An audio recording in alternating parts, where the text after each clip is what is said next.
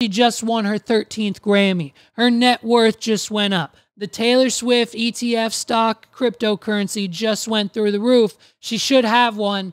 I'd put every dollar. I'd put every dollar. I'd run the companies on it. Taylor Swift needs a cryptocurrency and it needs to take a, that's how she takes over the country. If she wants to support the United States federal government in some form of way, fix the fucking economy. Make a Taylor Swift coin, put, you know, a billion of your own dollars in it because you don't need it and that's how much you love the people and let's keep it pumping up.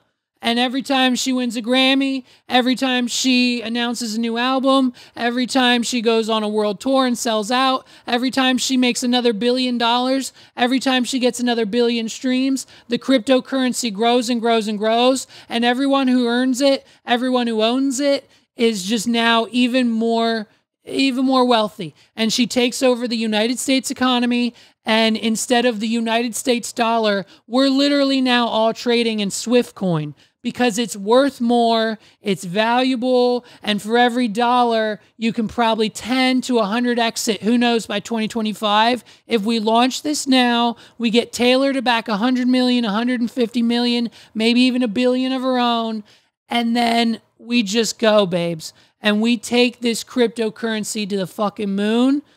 So why not have why not if Taylor wants to make a change, I strongly suggest that right now she spends at, at minimum 100 million of her own dollars to hire crypto developers to make a Swift coin and then fully back it with 100 million to 500 million. And if she wants to go crazy, put a whole bill in there. And let's stimulate the United States economy. I guarantee you, at whatever cap it sets on opening day one, you're going to have whales like Dave Portnoy, the other billionaires, the Andrew Tates of the world, all of the YouTubers, all of the millionaires in this country will put tens, if not hundreds of thousands of dollars into a Taylor Swift coin. And then the people like us that have tens of thousands of dollars will be able to buy some and then hopefully rank up amongst with some of those other people because of the value and it going up and our diamond hands. I think this is a great idea. I think this is a great idea and someone needs to pitch it to her. If she wants to do something for the American people, it's as simple as this. Don't make it a game. Don't make it an NFT. Just make it a strict stock Make it a Taylor Swift ETF that you can buy on Robinhood, and I guarantee you she changes the lives of thousands, if not tens, if not hundreds of thousands of Americans. I'm just saying.